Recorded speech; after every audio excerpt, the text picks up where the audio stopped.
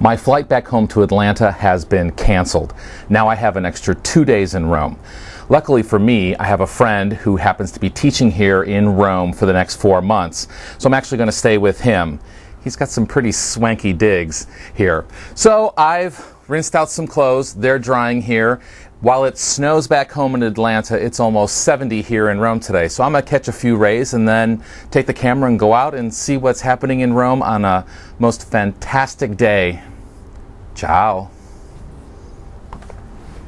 Oh. La dolce vita, no? Mmm.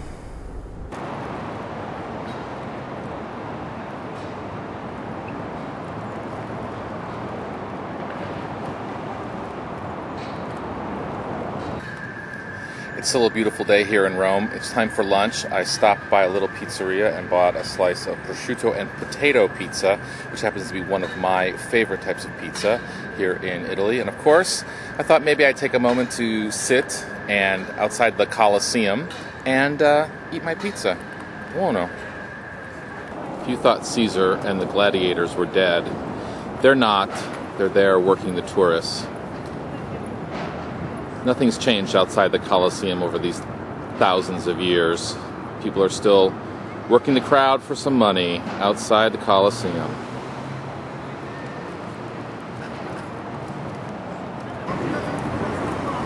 Here is a view of the Forum. That happens to be the Senate building right there where Caesar used to meet with the senators. And I am going to work my way up to the top of there. There's a viewing deck on top of the wedding cake, the um, memorial to uh, Vittorio Emanuele. I'm gonna go up there and we'll shoot some of uh, Rome.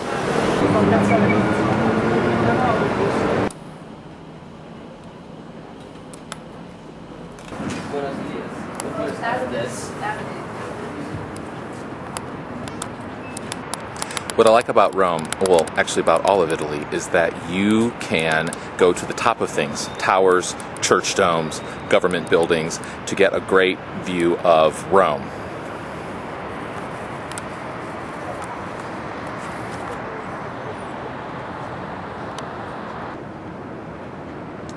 Literally, this is a bird's eye view of Rome.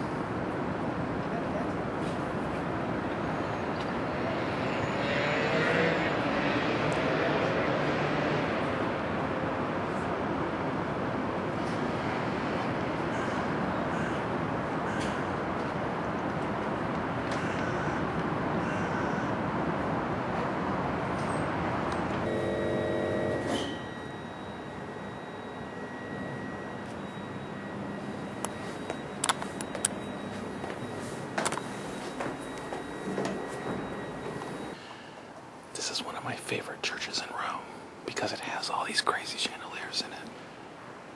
It's fantastic. Isn't that cool? I love this church. I'm here at the Rome Center, which is an architectural school for the University of Arkansas and Auburn University. And I'm going in to see my friend, and I thought I'd just show you his fantastic, or the school's fantastic interior courtyard.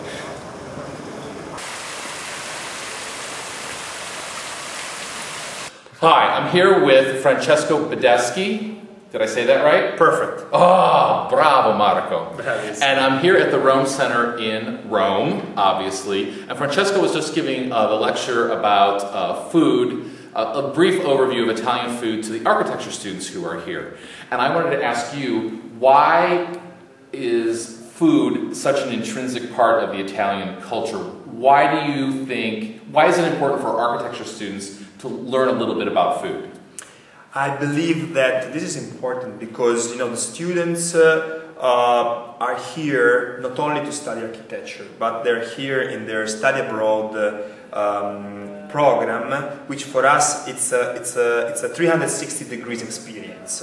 Uh, so the intention behind this little presentation is to uh, pass them some some you know suggestions, some uh, concepts that they're not here only to study the beauty you know, of the art of the architecture. We are in a beautiful building as well, but they're in a country which, as you were saying, is extremely famous in the world for the kitchen, for the food, and we do believe that you know a good good food, good wine, it's part of the culture in this sense, and it's part of the experience. So it's a really it's a, an invitation to them uh, to experience and to be curious about the, the you know thousands of products, thousands of Right. recipes, Right. um, in a, with, with a cultural approach, possibly. Right. That's what I think is so fascinating about Italy is that food is an intrinsic part of the experience here. You could have two construction workers for an hour at lunch discuss the quality of pasta, discuss the quality of their grandmother's lasagna, of the restaurant down the street, the way they do their prosciutto.